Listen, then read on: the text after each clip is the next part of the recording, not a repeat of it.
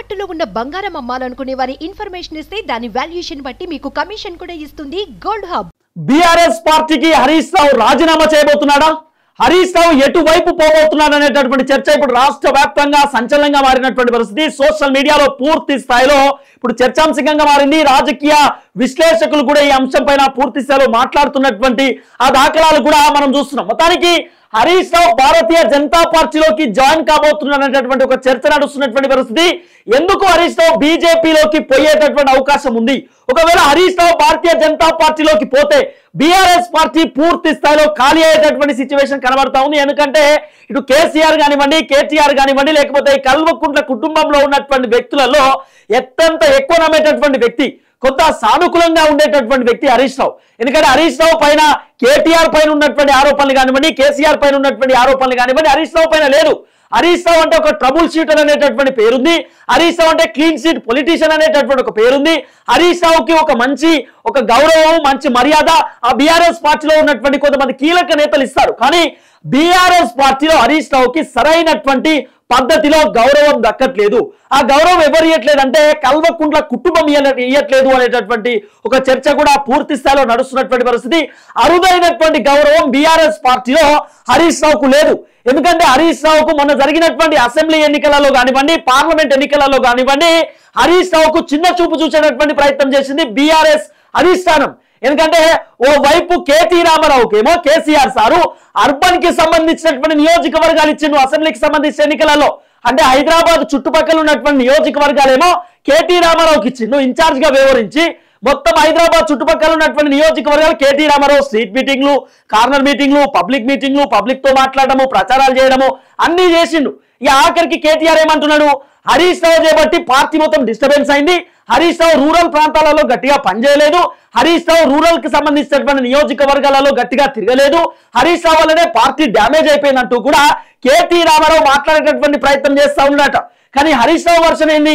మరి వర్కింగ్ ప్రెసిడెంట్గా ఉన్నటువంటి కేటీ రామారావు వర్కింగ్ ప్రెసిడెంట్ అంటే ఆ పార్టీకి ఇన్ఛార్జ్ తర్వాత ఇన్ఛార్జ్ అంటే కేసీఆర్ తర్వాత వర్కింగ్ ప్రెసిడెంట్గా ఉన్నటువంటి వ్యక్తి కేటీ రామారావు వస్తారు సరే కేసీఆర్కు కొంత ఆరోగ్యం బాగాలేదు ఇబ్బంది పడుతున్నటువంటి నేపథ్యంలో మరి కేటీ రామారావు అయినా అన్ని నియోజకవర్గాలు తిరగాలి కదా.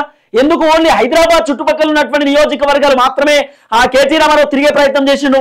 రూరల్కి సంబంధించి భూపాలపల్లి కానివ్వండి లేకపోతే వరంగల్ కానివ్వండి లేకపోతే హన్మకొండ కానివ్వండి నర్సంపేట చొప్పదండి కరీంనగర్ హుజరాబాదు ఇవన్నీ నియోజకవర్గాలు ఉన్నాయి కదా హుస్నాబాద్ ఉన్నది. ఇవన్నీ నియోజకవర్గాలలో ఎందుకు తిరగలేదు? ఉమ్మడి కరీంనగర్ కానివ్వండి ఉమ్మడి వరంగల్ కానివ్వండి ఉమ్మడి నల్గొండ కానివ్వండి భువనగిరి కానివ్వండి ఆదిలాబాద్ కానివ్వండి నిజామాబాద్ కానివ్వండి కొన్ని ఏజెన్సీస్కి సంబంధించినటువంటి నియోజకవర్గాలలో కేటీ రామారావు భారీ బహిరంగ సభలు పెట్టకపోవడానికి గల కారణం ఏంది అంటే కేటీ రామారావు వల్ల బీఆర్ఎస్ పార్టీ భూస్థాపితానికి వచ్చిందా? హరీష్ రావులో బీఆర్ఎస్ పార్టీ భూస్థాపితానికి వచ్చిందా?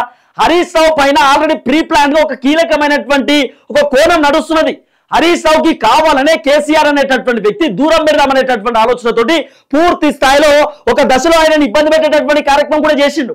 కేసీఆర్ మాస్టర్ ప్లాన్ ఏంటంటే నా ప్లేస్లో నా కొడుకు రావాలనేటటువంటి ఒక పన్నాగాని పండిండు కేసీఆర్. ఆయన చేసిన కథ ఏంది? గతంలోనే కేటీ రామారావు ప్లేస్లో ఎప్పుడైతే ఈటల రాజేందరు కేటీ రామారావు స్థానాన్ని కబ్జా చేద్దాం అనేటటువంటి ఆలోచనలో ఉన్నాడు. ఐ మీన్ ఆయన ఎత్తుకెత్తుకు ఎదుగుకుంటూ ఎదుగుకుంటూ ఈటల రాజేందర్ పైకి వచ్చినటువంటి వ్యక్తి అట్లనే కేసీఆర్తో కలిసి పనిచేసిండు తెలంగాణ ఉద్యమ సమయంలో కీలక పాత్ర పోషించినటువంటి ఈటల రాజేందర్ను కేసీఆర్ ఏం చేసిండు?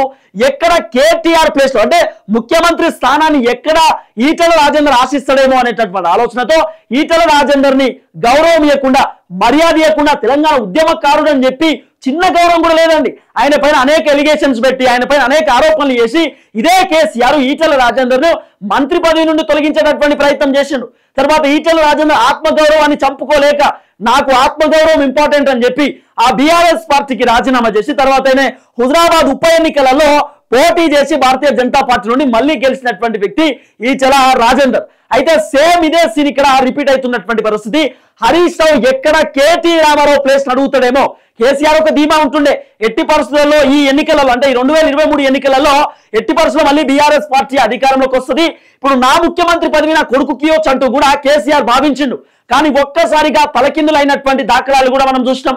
ఇదే కేసీఆర్ జిహెచ్ఎంసీ ఎన్నికల తర్వాత కేటీ రామారావుని ప్రధానమంత్రి నరేంద్ర మోడీ దగ్గరికి తీసుకుపోయి జిహెచ్ఎంసీ మేయర్ని మీరు సపోర్ట్ చేయండి.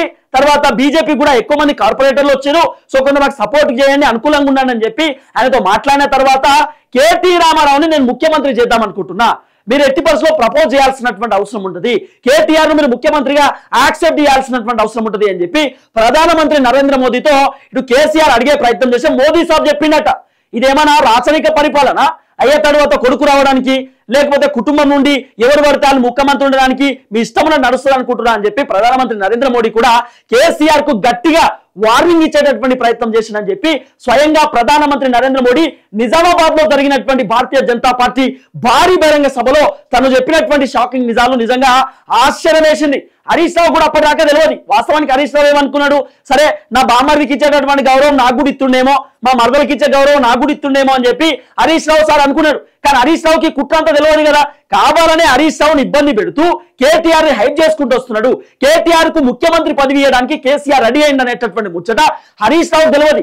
ఎప్పుడైతే ప్రధానమంత్రి నరేంద్ర మోడీ చెప్పిండో అప్పుడు హరీష్ రావు కన్ను అప్పుడు తెలుసుకున్నాడు అచ్చా ఇదంతా జరిగిందా? ఇదంతా పూర్తి స్థాయిలో కోణాలు వినబడ్డాయా అని చెప్పి అప్పుడు హరీష్ రావుకి అర్థమైంది. అయితే ఇదే హరీష్ రావుని ఏం చేసిండు మెల్లగా దూరం పెట్టడానికి హరీష్ రావుని బద్నాం చేయడానికి హరీష్ రావుని ఇబ్బంది పెట్టడానికి అర్బన్కి సంబంధించినటువంటి ప్రాంతాలలో కేటీ రామారావుకి ఇన్ఛార్జ్గా వ్యవహరించిండు. ఈ కేటీఆర్ ఏం చేసిండు?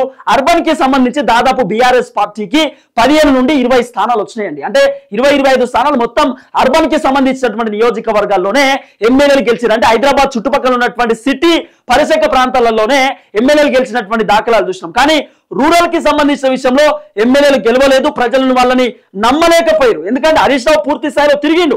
అయినప్పటికీ కూడా రూరల్ ప్రాంతాలలో కొంత బీఆర్ఎస్ పార్టీ పైన వ్యతిరేకత పూర్తి స్థాయిలో ఏర్పడ్డది. అప్పుడు కేసీఆర్ ఏం చేస్తుండే తెలుసా? ఒకవేళ ఇదే బీఆర్ఎస్ పార్టీ గెలుస్తే ఆల్రెడీ సిటీకి సంబంధించినటువంటి ప్రాంతాలలో దాదాపు ఒక ఇరవై ఐదు స్థానాలు ముప్పై స్థానాలు వచ్చిందనుకో ఇక తర్వాత ఏజెన్సీస్కి సంబంధించిన ప్రాంతాలు కానివ్వండి రూరల్కి సంబంధించినటువంటి ఆ నియోజకవర్గాలలో ఒక ముప్పై మంది గెలుస్తే లేదా ముప్పై మంది ముప్పై ఐదు మంది గెలిస్తే అరవై ఐదు మంది తోటి ప్రభుత్వం ఏర్పడుతుంది కదా. అప్పుడు కేసీఆర్ కొత్తుపాయం ఏం కడుతుండే అంటే Harish Rao you are fail అసలు ముఖ్యమంత్రి పదవి నీకిద్దాం అనుకున్నా కానీ నువ్వు ఫెయిల్ అయిపోయాను చూసినావా కేటీ రామారావు? ఆయనకి ఎన్ని స్థానాలు ఇచ్చినో ఇన్ఛార్జ్గా అన్ని స్థానాలు గెలిపించుకున్నాడు. KTR you are really great అని చెప్పి అప్పుడు కొడుకుని బొగిడి అల్లుడు ముంగట కొడుకుని బొగిడి కొడుకుకి ముఖ్యమంత్రి పదవి ఇచ్చి ఆయనని ఒక పెద్ద పీఠ మీద కూర్చోబెడదామనేటటువంటి ఆలోచనలో ఆ రోజు కేసీఆర్ ఆ ఉపాయం కట్టిండు. అంటే హరీష్ రావుని అవలేనగా మాట్లాడి హరీష్ రావుని తక్కువ చూసి కేటీ రామారావుని హైప్ చేద్దాం అనేటటువంటి ఆలోచనతో కేసీఆర్ ఆ రోజు ఉపాయం కట్టింది అనేటటువంటి ఒక చర్చలు వినబడుతున్నటువంటి పరిస్థితి.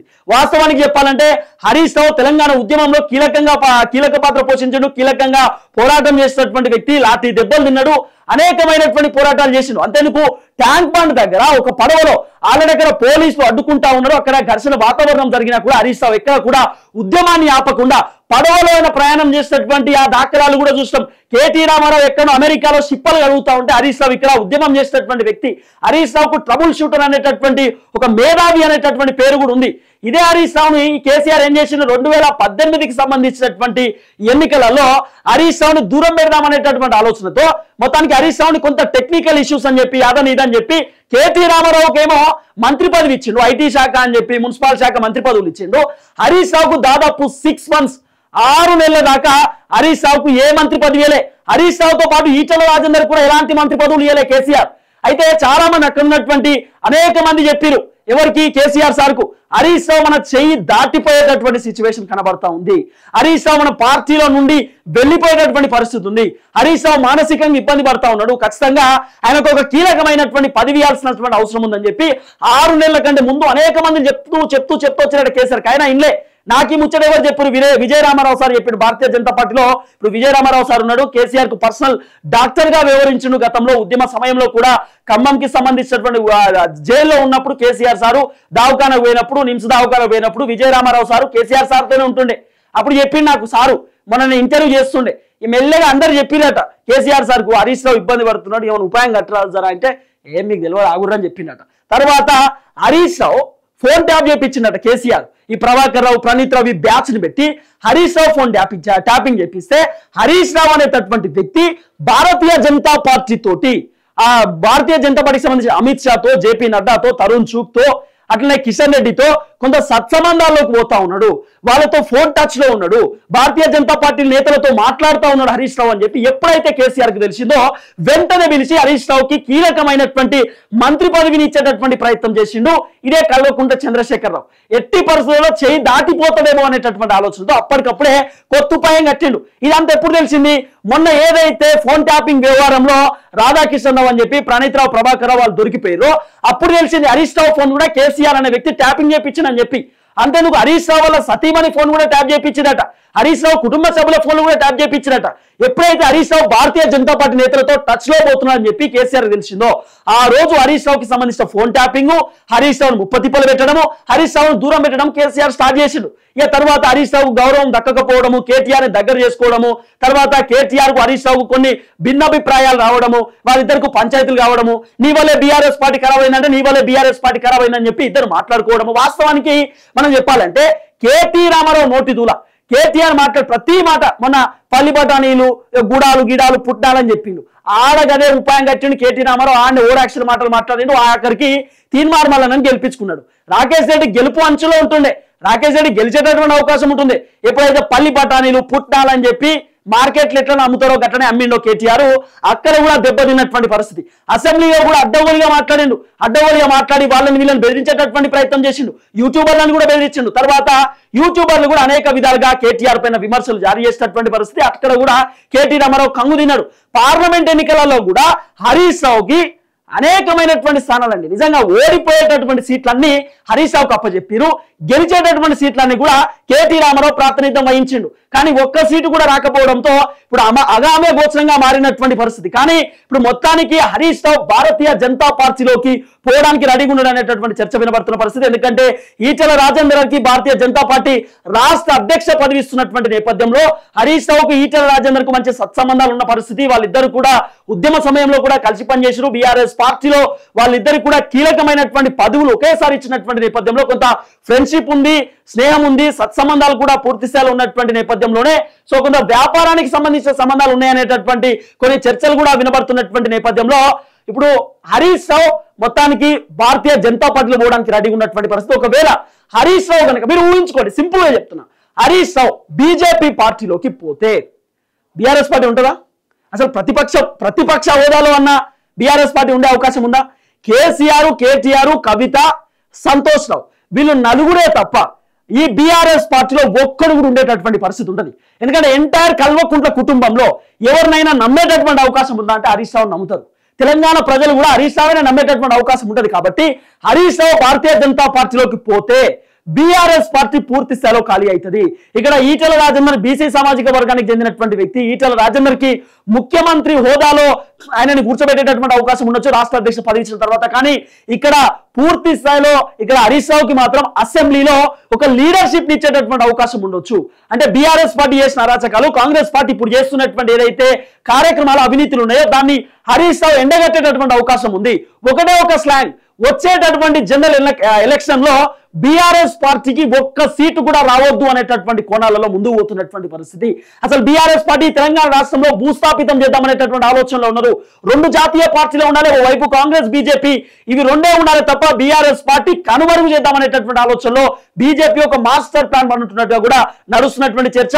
ఒకవేళ ఈటల రాజేంద్ర హరీష్ రావు ఇద్దరు కూడా ఒక్కటైతే బీఆర్ఎస్ పార్టీని నేలమట్టం చేసేటటువంటి అవకాశం ఉంటుంది. ఎందుకంటే వాళ్ళిద్దరికీ కూడా బీఆర్ఎస్లో ఉన్నటువంటి అత్యంత సన్నిహితులు ఉంటారు కీలకమైనటువంటి వ్యక్తులందరూ కూడా టచ్లో ఉంటారు కాబట్టి ఈటల రాజేందర్ కూడా బీఆర్ఎస్ని ఖాళీ చేస్తాడు. తర్వాత హరీష్ రావు ఎప్పుడైతే బీజేపీలోకి అడుగు పెడతాడో బీఆర్ఎస్కి సంబంధించినటువంటి దాదాపు ఈ ముప్పై మంది ఎమ్మెల్యేలలో సుమారు ఇరవై ఐదు మంది ఎమ్మెల్యేలు హరీష్ రావుతో రావడానికి రెడీగా ఉంటారు. ఎందుకంటే కేసీఆర్ని already KT Rama Rao working president పదవిని ఎట్టి పరిస్థితిలో తీసేయాలి. కేటీఆర్ చేపట్టే బీఆర్ఎస్ పార్టీ మొత్తం భూస్థాపితమైంది కనుమరుగైపోయిందంటూ కూడా చాలా మంది హరీష్ రావుకి సంబంధించిన వర్గం కానివ్వండి లేకపోతే హరీష్ రావుకి సంబంధించినటువంటి ఫాలోవర్స్ కూడా మాట్లాడుతున్న పరిస్థితి. కేటీ రామారావు వర్కింగ్ ప్రెసిడెంట్ పదవిని హరీష్ రావుకి ఇవ్వాలంటూ కూడా చాలా మంది అనేక మంది అక్కడ సోషల్ మీడియాలో కూడా నెటెంట్లో వైరల్ అవుతున్నటువంటి సిచ్యువేషన్స్ కూడా మనం పూర్తి స్థాయిలో చూస్తున్నటువంటి నేపథ్యంలో మొత్తానికి భారతీయ జనతా పార్టీలోకి హరీష్ రావు అడుగులు ఉండబోతున్నాయి అనేటటువంటి చర్చలు మాత్రం పూర్తి స్థాయిలో నడుస్తున్నటువంటి పరిస్థితి.